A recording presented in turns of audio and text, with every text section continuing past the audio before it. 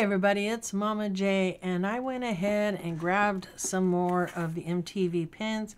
So we are going to continue this series for a few more, only because I did not score everything I wanted. So we're going to go ahead and open a couple more and see if we can score some other ones.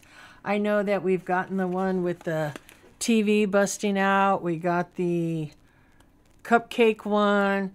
We've gotten a couple of the radio ones. We did not get the chase.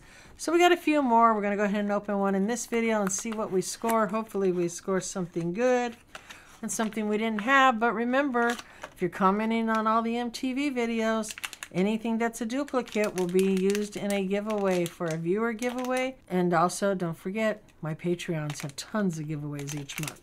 All right, so let's go ahead and pop this one open. And mm, I'm going to go this way, I think. Boom.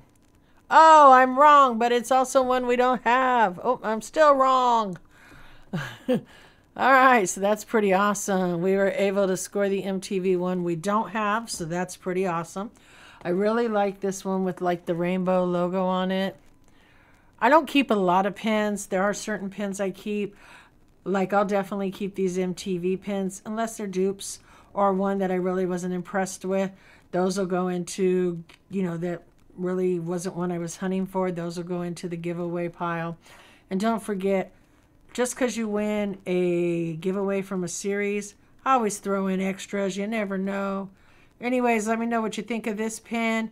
And now let's see what we're going to get in the next one. And don't forget, make sure you're commenting on all the videos. This is number five and we're going to do two more and then it'll be included in the giveaway. Stick around, check out my Patreons. They get something every month. And we'll see you in the next one. Keep on rocking.